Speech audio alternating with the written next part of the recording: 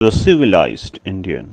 भाजपा शुरू से ही कांग्रेस पर यह आरोप लगाती रही है कि कांग्रेस चाहती है कि पूरे देश को एक मुट्ठी में कर दिया जाए, एक परिवार के मुट्ठी में कर दिया जाए परिवारवाद को आसान शब्दों में समझे तो इसका मतलब यही है कि बाप के बाद बेटा, बेटे के बाद पोता और पोते के बाद आने वाली जनरेशन 2014 से पहले दिए गए तमाम भाषणों को आप उठा करके सुन लीजिए। उसमें किस तरीके से प्रधानमंत्री मोदी हों, चाहे अमित शाह हों या भाजपा के बड़े बड़े नेता हों, वो ये बात कहते थे कि परिवारवाद देश के लिए सबसे बड़ा खतरा है।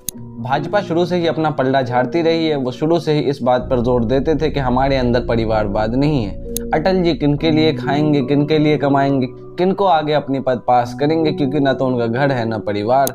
इसी तरीके से मोदी जी के बारे में कहा जा रहा है, इसी तरीके से योगी जी के बारे में कहा जाएगा तो भाजपा इस तरीके से अपना पल्ला झाड़ती रही है। 2014 में भाजपा ने परिवारवाद को एक बहुत बड़ा मुद्दा बना करके कांग्रेस को बड़े स्तर पर वोटों का चोट दिया। सत्ता भी बदल गई 2014 के बाद भाजपा शासन में आई। नरेंद्र मोदी नए प्रधानमंत्री के तौर पर चुने गए।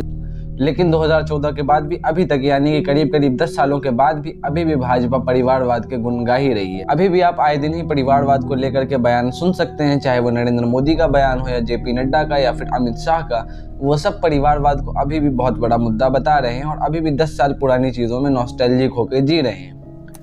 लेकिन इनका नॉस्टैल्जिया सिर्फ़ एक तरफा है, अपने बारे में कभी भी बात नहीं करते। करेंगे भी नहीं और न मीडिया करेगी। मीडिया क्यों करे भला? कौन ही चाहता है भला कि उसके पेट पर लात मार दिया जाए? बहरहाल, अगर पेट पे लात मारने की बात होती, तब तक तो समझा जा रहा था। यहाँ पर तो बहुत कुछ हो सकता है पेट पर लात मारने के अलावा भी। आप समझ सकते हैं कि मैं किस किस तरह की कार्यवाही की बात कर रहा हूँ। बहरहाल, बात करते हैं परिवारवाद के बारे में। अगर आपको ये लगता है कि भाजपा के अंदर परिवारवाद नहीं और भाजपा परिवारवाद से दूर है, परिवारवाद नहीं कर रही है तो आप गलत हैं। नेता छोटा हो या बड़ा हो, परिवारवाद तो परिवारवाद होता है आखिर। भाजपा में क्या परिवारवाद नहीं है? आइए इस पर एक नज़र डालते हैं। नामों की एक सूची देखते हैं, जिसमें किस तरीके से भाजपा के अंदर परिवारवाद मौजूद है और उस पर अभी तक कोई बात नहीं कर रहा है। तो हम भी सोचे कि ले आते हैं आपके लिए एक परिवारवाद का लिस्ट भाजपा का, जिसमें आपको मालूम चल सके कि हाँ भाई परिवारवाद तो है और सत्ता दल के अंदर भी परिवारवाद चल रहा है, जिसके खिलाफ सख्ती से प्रधानमंत्री नरेंद्र मोदी हैं, अमित शाह हैं, जेपी नड्डा जी हैं और बहुत से भाजपा के बड़े बड़े नेता हैं। बहरहाल आइए एक नज़र उस सूची पर भी दौड़ा लेते हैं। हिमाचल प्रदेश के पूर्व मुख्यमंत्री पी के धूमल के बेटे अनुराग ठाकुर भाजपा सांसद हैं। देश के गद्दारों को गोली मारो डैश डैश डैश को। ये नारा अनुराग ठाकुर ने ज़ोर शोर के साथ ताली बजाते हुए दिया था। इनके पिताश्री भी भाजपा के आदमी थे, भाजपा के ही नेता थे। अब ये भी भाजपा के एक सम्मानित, माननीय और आदर्शवादी नेता हैं, जो कि आए दिन ही अनाप शनाप बयान देते हैं।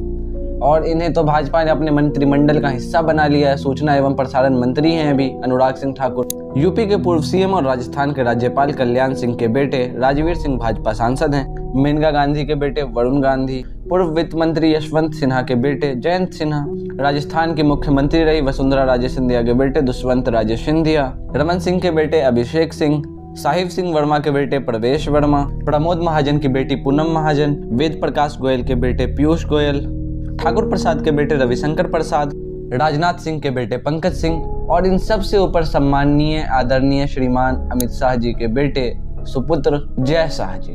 क्रिकेट की राजनीति को देख रहे हैं, क्रिकेट में ही राजनीति कर रहे हैं वो।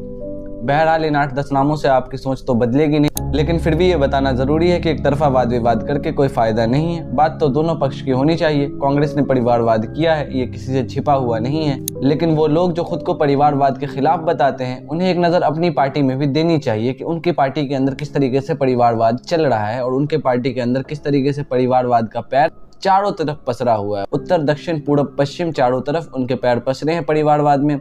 इंटरनेट पर एक से एक विस्तृत रिपोर्ट है। आपको देखनी चाहिए, पढ़नी चाहिए, जिसमें कि परिवारवाद को लेकर के अच्छा खासा विश्लेषण किया गया है। इससे आपको मालूम पड़ेगा कि कौन सा व्यक्ति, कौन सा नेता, कौन सा पार्टी किस चीज़ के खिलाफ असल में है। क्या वो सिर्फ़ राजनीति के लिए बातें कर रहा है, जुमले के तौर पर, या फिर सच में वो उस चीज़ के खिलाफ है, उस चीज़ से उसे नफरत है? बहरहाल, इन सब बातों का कोई फ़ायदा नहीं है, लेकिन फिर भी एक फ़ायदा हो सकता है अगर आप मेरे इस चैनल को सब्सक्राइब कर लें। तो आप पढ़े ना पढ़े, मैं ऐसी छोटी छोटी रिपोर्ट्स बनाऊँगा, या किसी और की रिपोर्ट्स होंगी, मैं पढ़ के आप तक पहुंचाऊँगा। और अगर आपको ऐसी सूचना चाहिए हो तो आप इस चैनल को सब्सक्राइब कर लीजिए, घंटी वाले आइकन को भी बजा दीजिए, और वीडियो शेयर कर दीजिएगा, ताकि और लोग भी जुड़ जाएँ। धन्यवाद।